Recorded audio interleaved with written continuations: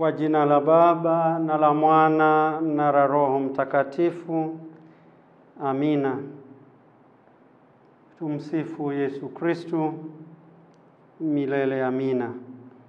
Leo Jumamosi tarehe tano, kanisa linafanya kumbukumbu kumbu ya Mtakatifu Agatha bikira na shahidi, na injili ya leo ni mwendelezo wa injili ya, ya Marko. Leo tunasoma sura ya sita mstari wa thelathini hadi thelathini na nne. Wakati ule mitume walikusanyika kwa Yesu na wakamweleza yote waliofanya na waliofundisha. Akawaambia, njooni twende sehemu ya upweke mpate kupumzika kidogo, kwa maana watu waliokuja na kutoka walikuwa wengi mno, hata wasipate nafasi ya kula. Wakaondoka kwa chombo waende mahali pa ukiwa wao peke yao. Watu waliwaona wakiondoka, na wengi walitambua shabaha yao, wakaenda hima kwa miguu toka miji yote, wakatangulia kufika. Aliposhuka pwani, aliona umati mkubwa wa watu, akawahurumia kwa maana walikuwa kama kondoo wasio na mchungaji. Akaanza kuwafundisha. Injili ya Bwana. Ndugu wapendwa katika Kristu,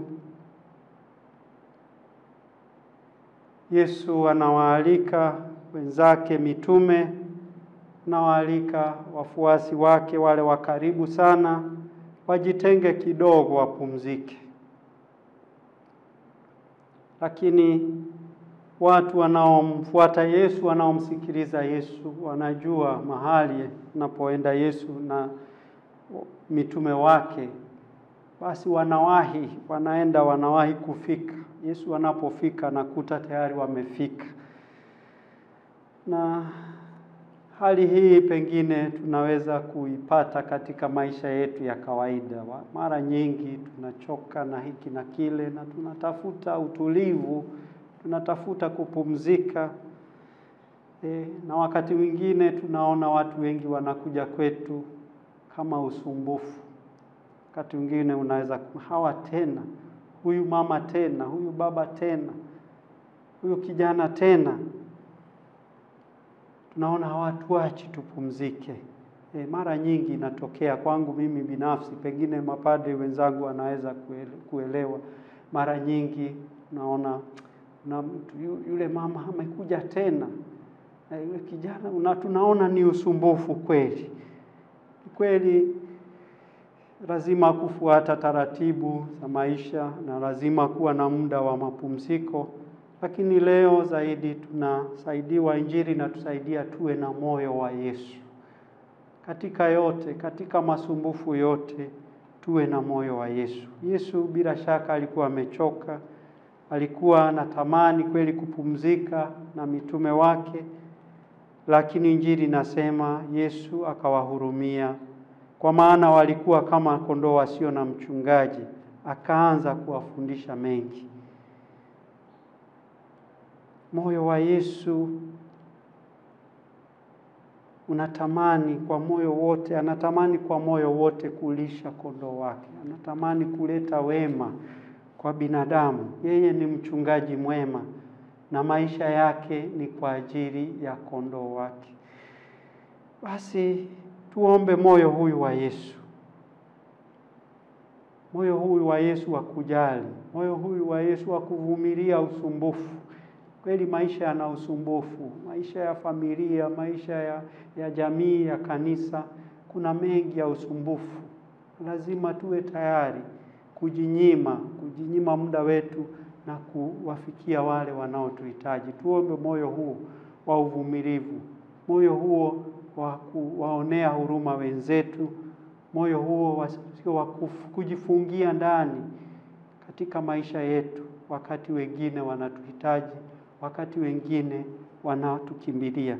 La pili pia ni la pekee, hawa watu wanamtafuta Yesu kweli, wanamfuata Yesu bila kuchoka. Na sisi lazima tuwe na moyo ule ule. Pengine mambo ya kiroho tunayachukulia poa, tunachukulia tuna, tuna kwa urahisi, tunakimbilia mengi mno ya maisha haya. Tuombe moyo wa kumkimbilia Yesu, na tutalishwa neno lake, tutapata hekima ya maisha, tutapata neema na nguvu ya safari ya maisha. Tuombe mara nyingi, tu, tu, tu, tuchoke eh, tusichoke, tujisumbue ili kumtafuta Yesu, na tutaona upendo wake, huruma yake zitatujaza maisha yetu. Basi tuombe zaidi, tuwe na moyo ule ule wa Yesu, tuvumilie usumbufu wa maisha kwa upendo, tuvumilie usumbufu kwa upendo. Upendo ndio unaupa maa, unayapa maana. Ule usumbufu, ule uvumilivu, yale mateso tunayoyapata, ule uchovu. Tukiuishi uchovu wa maisha kwa upendo, bila shaka tunapopata nguvu mpya kutoka kwa Mungu, na tukivumilia usumbufu huo mdogo mdogo wa maisha, wengine wengi wataonja wema wa Mungu, wataonja huruma ya Mungu kwa njia yetu, wataguswa na ukarimu wa Mungu. Atukuzwe Baba na Mwana na Roho Mtakatifu, kama mwanzo na sasa na siku zote na milele. Amina. Tumsifu Yesu Kristo milele. Amina.